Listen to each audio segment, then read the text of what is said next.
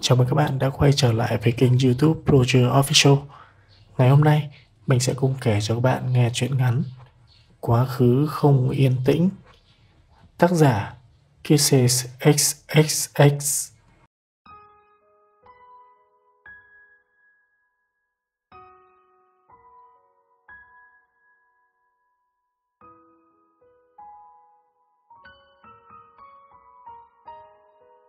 Cuối tháng 8 Trời đã thôi không còn cái nắng oi ả, Cũng chẳng tìm thấy đâu nữa mảng trời trong veo. Nơi tôi vẫn thường ngửa cổ lên nhìn, Mỗi lúc cần tìm lại cho mình sự bình yên. Và để nhận thấy mình thật nhỏ bé, Giữa một màu xanh ngút ngàn của mây trời. Trời mưa Mưa đã bắt đầu trắng xóa cả những con đường khoảng không gian trên đầu đập vào mắt một gam màu xám xịt và u ám. Tôi đã không còn giữ thói quen ngửa cổ nhìn lên trời. Đơn giản là vì chẳng còn thấy gì ngoài những giọt nước mưa bắn vào mắt cay xè. Tôi không yêu mưa.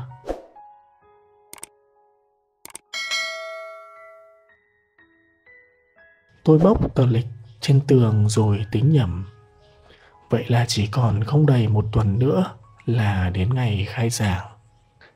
Lại thêm một mùa tiệu trường, thêm một lần đưa đò. Chúng tôi là những con đò năm tháng, miệt mài đưa từng lớp học trò qua bên kia bờ bến mới của cuộc đời. Trong số những khách sang đò ấy, có những người thỉnh thoảng còn quay lại bên cũ, đơn giản chỉ để gửi một cái gật đầu kín đáo đến những người đưa đò tận tụy. Nhưng cũng có những người ra đi và cứ thế đi biển biệt. Hơn 10 năm trời gắn bó với nghề cầm phấn, dù không vui mà có lẽ cũng chẳng buồn. Nhưng cứ đến ngày khai giảng là lòng tôi lại như thế, nào nào lạ 32 tuổi, độc thân. Tôi trở thành đề tài đàm tiếu cho đám bạn đồng nghiệp trong những giờ nhàn rỗi. Hách, làm cao giá, man man, đó là những gì bật ra khi tôi quay lưng đi. Tôi nhận tất cả, cũng chẳng buồn biện hộ, mà có lẽ thế thật. Chẳng có người bình thường nào lại sống mà chỉ biết có quá khứ tôi đã sống hết mình cho kỷ niệm mà chẳng biết vì cái gì. Có lẽ với tôi, tất cả chỉ như mới hôm qua.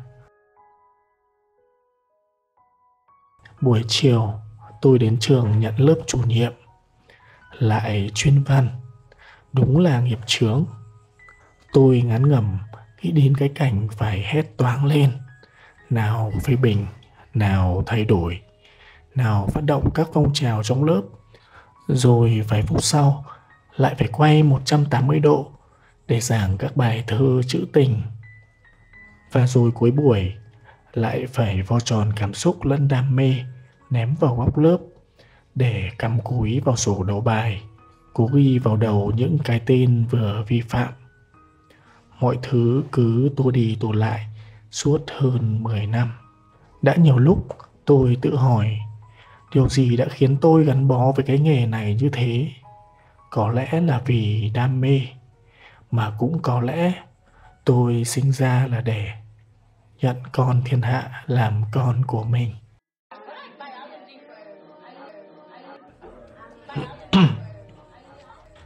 Lớp học im văng phắc sau tiếng ho nhẹ của tôi. Giữ bộ mặt vô cảm đi vào lớp, tôi nghĩ mình nên làm như vậy trong buổi gặp mặt đầu tiên với những đứa con mà tôi sẽ phải dạy dỗ suốt 3 năm. Tôi gật đầu và bảo các em ngồi xuống.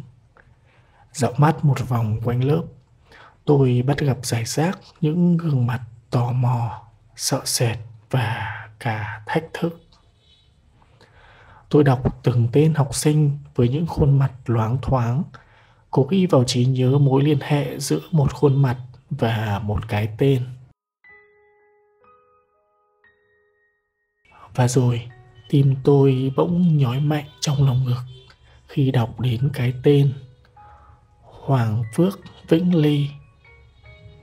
Tôi cố lấy lại bình tĩnh và nghĩ đến một cô bé. Thế rồi, một cậu học sinh ở cuối lớp rụt rè đứng dậy. Bắt đầu có những tiếng xì xào vang lên, xen lẫn những nụ cười bẽn lẽn. Tôi gõ mạnh tay lên bàn, yêu cầu im lặng và bắt đầu nhìn cậu bé. Mái tóc được tỉa cao một cách gọn gàng. Một đôi mắt buồn đang nhìn đăm đăm xuống mặt bàn và dường như chỉ trực trào nước mắt. Cậu bé đang cắn môi một cách cam chịu. Phải rồi, cái cắn môi ấy lại làm tim tôi nhói lên một lần nữa. Tôi giấu sự xúc động của mình trước đám học trò ngơ ngác bằng cách nhìn ra ngoài cửa sổ. Có một giọng thơ vang lên trên loa phát thanh của trường. Nguồn nước suối tràn ngập nội, đời trôi, người trôi, mùa màng trôi. Tôi ở xa lũ không tràn tới, nỗi đau buồn như lụt lút lòng tôi bạn ở đó chống trèo trên ngọn lũ vớt ngọn rau, nhánh lúa, ngập cầm lòng. Tôi ở đây chen lấn giữa phố đông, gõ cửa gọi, bầu ơi, thương bí với. Tôi gục đầu, nén một tiếng nức khẽ, quá khứ chợt xô về.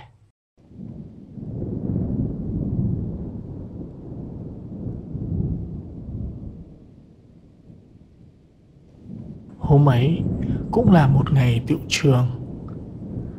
Bầu trời nặng như một tấm ni lông xỉn màu căng đầy nước. Những đụn mây từ từ bay qua nhau. Chốc chốc lại có một vài cánh chim lạc bầy trao qua, trao lại. Tôi cứ ngỡ, chỉ cần những cánh chim vút bay ấy mà lỡ chạm tới bầu trời nặng như chì kia thì có lẽ nước sẽ sầm sập chút xuống. Tôi ái ngại nhìn lên trời rồi đạp xe qua nhà khoa. Ra đến đầu đê, còn nghe tiếng mẹ tôi gọi với theo, dặn phải về sớm. Tôi hiểu, thời tiết thế này, chẳng ai muốn đi đâu xa khỏi cái máy ấm của mình. Nhưng tôi thì khác, tôi phải đi học, và hơn hết tôi biết khoa đang đợi tôi. Đang đứng hát vu vơ ở đầu ngõ. Mắt khoa bỗng sáng lên khi nhận ra tôi. Chúng tôi chào nhau bằng vài câu xã giao và vài động tác quen thuộc. Rồi thằng này đèo thằng kia men theo triển đê đến thẳng trường huyện.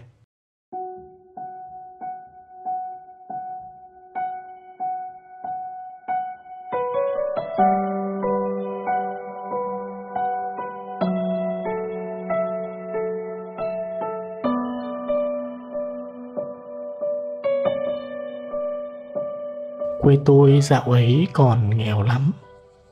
Học đến hết cấp 2 thì đứa nào cũng bỏ ngang để quay về cắm cụi với đất, với trời vì không đủ tiền học trường huyện. Tôi thì không. Tôi sinh ra không phải để bán mặt cho đất, bán lưng cho trời. Cha tôi cũng không muốn đời tôi rồi sẽ đi theo lối mòn của dòng họ Vậy là gia đình tôi đều phải nai lưng ra làm việc gấp 2, gấp 3 kiếm tiền nuôi tôi ăn học. Khoa thì khác, nhà Khoa nghèo, nghèo hơn nhà tôi nhiều lắm. Chỉ việc nuôi Khoa học xong cấp 2 đã là một cố gắng phi thường của gia đình. Cha Khoa mất sớm, mẹ Khoa cố tỏ ra kiên cường để làm chỗ dựa cho Khoa và bé út. Chưa bao giờ bà để Khoa phải đụng tay vào bất cứ việc gì, dù nhỏ nhất. Bà chỉ cần Khoa phải học. Tôi biết Khoa buồn vì không giúp được gì cho gia đình, nhưng chưa bao giờ Khoa dám trái lời mẹ. Chỉ lặng lẽ khóc bên tôi. Ơn trời là tôi không phải chịu cảnh một thân một mình đi học tận trường huyện Khoa được tuyển thẳng vào trường nhờ suất học bổng vượt khó. Tôi chưa bao giờ nghi ngờ điều đó. Trong lớp, tôi chỉ sau Khoa về thành tích học tập. Khoa luôn là mục tiêu để tôi phấn đấu, nhưng chưa bao giờ tôi đuổi kịp. Rồi chúng tôi thân nhau. Cái thứ tình bạn kỳ lạ mà mãi đến sau mùa nước nổi năm ấy, tôi mới nhận ra được đó là gì. Chúng tôi không đến trường như đã định mà đèo nhau ra đến tận bãi sau chỉ để hò hét cho thỏa thích và cùng nhau lặng ngắm dòng sông Lam hiền hòa. Trong vô số những câu chuyện vu vơ của hai đứa, có một lần tôi buột miệng hỏi Tao và mày không biết rồi thằng nào sẽ lấy vợ trước nhỉ? Mày Sao mày chắc như vậy? Vì tao sẽ không lấy vợ. Tao sẽ ở vậy nuôi mẹ tao và bé út. Và lại tao không thích bọn con gái. Chúng nó là một lũ nhiều chuyện. Ừ. Tôi tiện tay ném hòn đá ra giữa sông Mà không hay biết rằng Khoa đang nhìn tôi một cách lặng lẽ. Cho đến khi tôi nhận ra vẻ bối rối trong mắt Khoa Khi bắt gặp tôi quay lại tôi cúi đầu. Một cái gì đó nhẹ hẫng vừa dội ngược vào lòng. Chúng tôi lặng lẽ ngồi bên nhau như thế. Chẳng đứa nào tìm ra lời gì để nói với nhau. Bất chợt, khoa lên tiếng.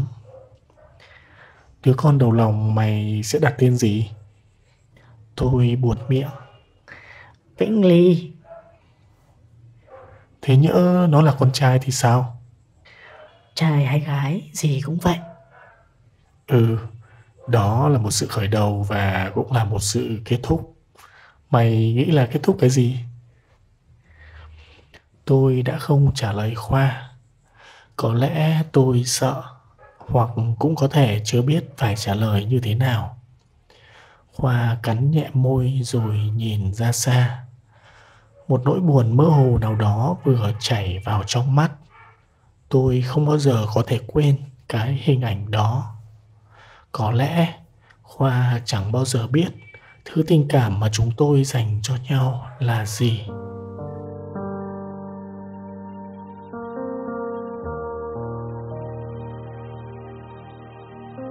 Chiều hôm đó, trời bỗng đen kịt, như cáu kỉnh, như khó chịu với hết thảy một cách vô cớ để rồi mưa. Mưa chưa bao giờ to như thế. Mưa dai dẳng mãi không dứt. Mưa chút trắng xóa cả mặt đất. Không còn phân biệt được Đâu là dòng lam hiền hòa, Đâu là ruộng lúa xanh biếc, Đâu là con đường đê. Chỉ xa xa một vệt đê Như sợi chỉ mỏng manh nổi trên mặt nước. Cả nhà tôi đều dọn lên ở gian nhà kho gần sát mái đồ đạc được chất lên cao cho khỏi ướt.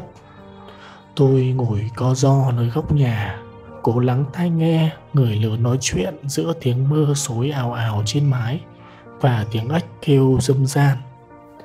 Có vẻ như trời sẽ còn mưa vài ngày nữa. Tôi bất chợt nghĩ đến khoa. Không biết giờ này mẹ con khoa đang chống chọi với cơn lũ như thế nào. Sàn nhà khoa làm bằng chen nứa chắc đã được nâng lên đến sát mái. Mà nước lớn thế này không biết là đã ngập chưa? Tôi tự hỏi rồi lại tự an ủi mình như thế. Cảm giác như có hàng trăm, hàng ngàn con kiến bò trong bụng. Tôi nghĩ mình nên làm một điều gì đó hơn là cứ ngồi mãi như thế này. Tôi phải sang nhà khoa ít ra, có thêm một tay đàn ông trong nhà, mọi việc có thể sẽ dễ dàng hơn. Nghĩ là làm, nhân lúc mọi người đang bàn chuyện, tôi mon men ra đến cửa, tháo dây cột xuống rồi thận trọng trèo lên. Tôi gồng tay khua mái một cách vụng về. Chẳng là lúc nào tôi cũng đi với cha tôi và những người khác nên chưa bao giờ phải đụng tay vào mái chèo, chứ đừng nói gì đến chuyện khua nước. Bây giờ chỉ có một mình tôi bỗng đâm lo. Nhưng cứ nghĩ đến chuyện phải ngồi ở nhà mà không biết bất kỳ tin tức nào của gia đình khoa, lòng tôi lại nóng như lửa đốt. Chiếc xuồng không chịu nhúc nhích mà chỉ nghiêng qua rồi nghiêng lại tôi khổ sở với việc điều khiển mái chèo được một lúc thì chiếc xuồng kêu lên răng rắc rồi lật nhào xuống nước.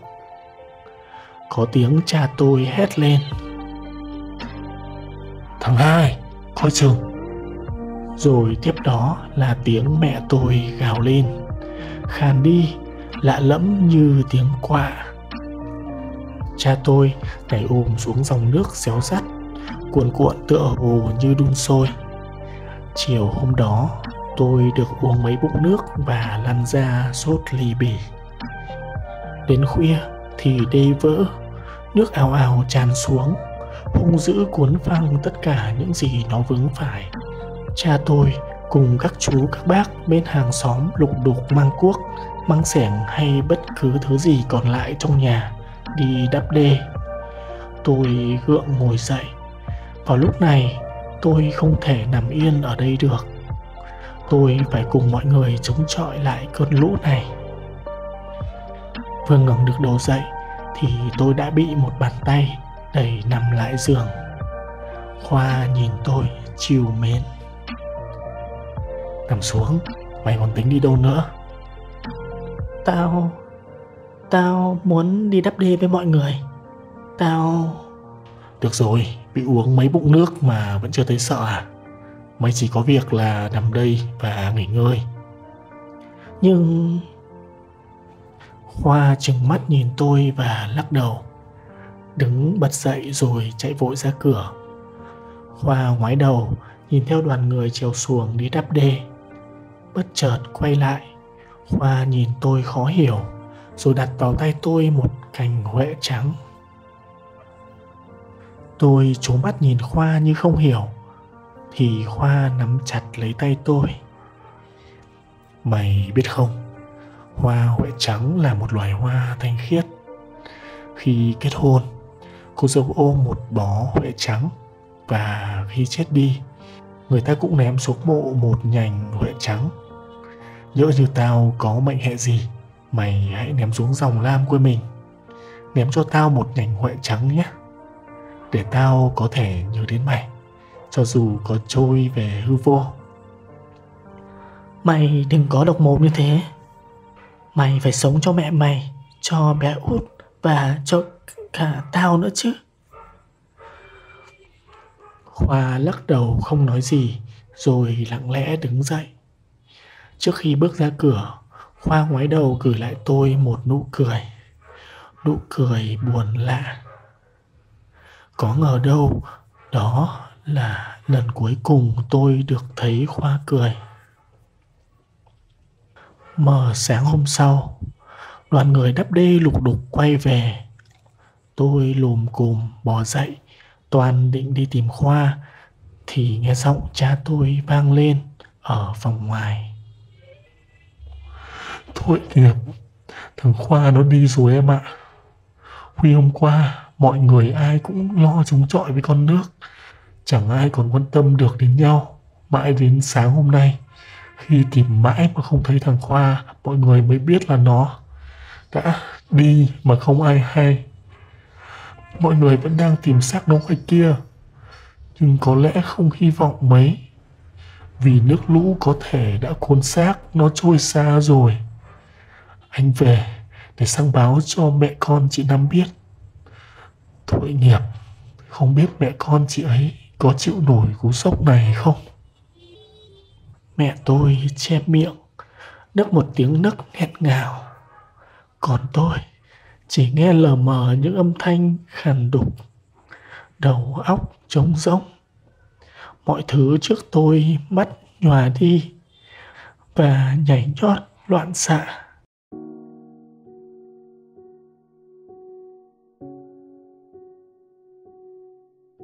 Rồi tôi mê man trong cơn mê tôi nghe cả tiếng khóc nghẹn ngào của mẹ Khoa. Bà ngã quỵ trên vai mẹ tôi và nức nở. Tôi còn thấy cả bé út. Con bé níu lấy áo mẹ Khoa, ngây thơ hỏi. Sao người ta ác thế hả mẹ? Họ ném hết đồ đạc và quần áo của anh Khoa xuống xuống nước hết rồi. Đêm nay anh Khoa về không có quần áo mặc, không có chăn để đắp, thì chắc là phải thức suốt đêm vì lạnh thôi. Tôi nghe tiếng gào lên thảm thiết và môi tôi mặn chát. Mẹ Khoa dẫn bé út lặng lẽ ra đi một tuần sau đó. Chẳng ai biết mẹ con họ đã đi về đâu, còn sống hay đã chết. Riêng tôi, khoảng thời gian sau đó tôi sống trong giày vò và đau khổ. Cho đến một ngày, sức chịu đựng của tôi cũng bị vắt cạn đến giọt cuối cùng. Tôi bỏ gia đình, bỏ quê ra đi. Ngày rời quê, tôi đã ném xuống dòng sông Lam hiền hòa một nhành hoa huệ trắng. Hãy trôi về hư vô đi, hoa nhé. Và đừng bao giờ quên tao, quên thằng bạn thân này. Và quên một người con trai vừa nhận ra rằng người ấy đã yêu mày thật nhiều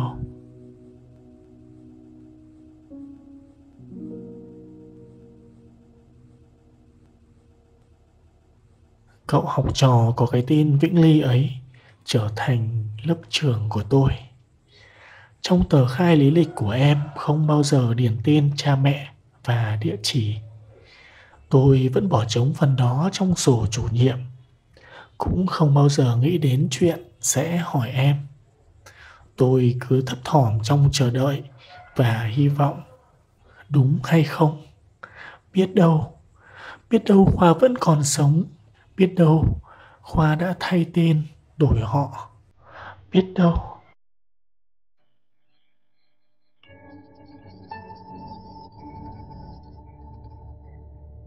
Tôi sợ Sợ phải hy vọng để rồi bất lực nhìn tất cả vụn vỡ như những mảng bọt biển tan mình vào trong cát.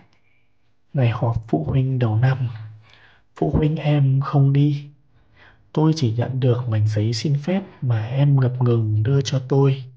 Trong mảnh giấy ấy là nét chữ của chính em với một lời giải thích. Thầy ơi, cha em đi công tác xa. Tôi run run, thế còn mẹ em đâu? Em không còn mẹ nữa. Mẹ bỏ cha con em đi theo người đàn ông khác năm em 10 tuổi em tôi gật đầu. Trong một khoảnh khắc nào đó tôi như muốn ghi chặt em vào lòng. Có lẽ em gợi cho tôi hình ảnh của khoa ngày trước. Nhưng tôi đã không làm thế. Trong mắt tôi em vẫn còn ngây thơ và nhỏ bé quá. Phải rồi, tôi yêu em với tình yêu của một người cha. Cái thiên chức mà không bao giờ tôi có thể làm tròn một cách đúng nghĩa.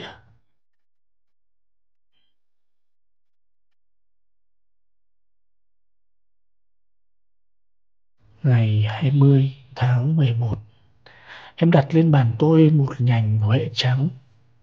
Tôi ngỡ ngàng rồi chết lặng trên ghế nhìn Vĩnh Ly Em vẫn thản nhiên giải thích Cha em nói hoa huệ trắng là loài hoa thanh khiết Khi tôi đã ngăn không cho em nói thêm Vậy là Hoa đã sống sót sau mùa nước nổi năm ấy Không những thế Hoa cũng đã lập gia đình Vậy là cả hai đứa chúng tôi Chẳng đứa nào giữ được lời hứa lúc xưa của mình. Khoa đã lấy vợ, còn tôi thì vẫn ở vậy. Khoa đặt tên cho đứa con đầu lòng của mình là Vĩnh Lê. Khoa đã thay tôi, làm điều mà tôi đã không làm được. Còn tôi tôi chỉ biết làm thay khoa được một nửa một nửa còn lại. Mẹ khoa và bé út, hai con người mà tôi tìm kiếm suốt hơn 10 năm nay, nhưng chưa một lần gặp lại. Hoa ơi, tao không thể thay mày chăm sóc mẹ mày và bé út. Tao có lỗi với mày nhiều lắm. Tao là một thằng bạn tồi, rất tồi.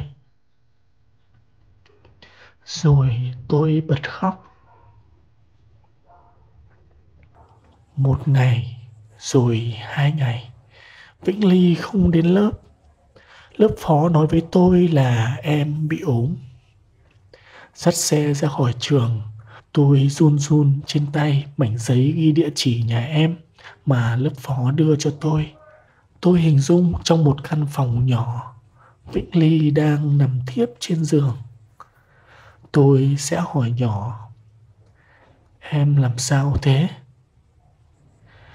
Ánh mắt ngày xưa sẽ ngước lên nhìn tôi.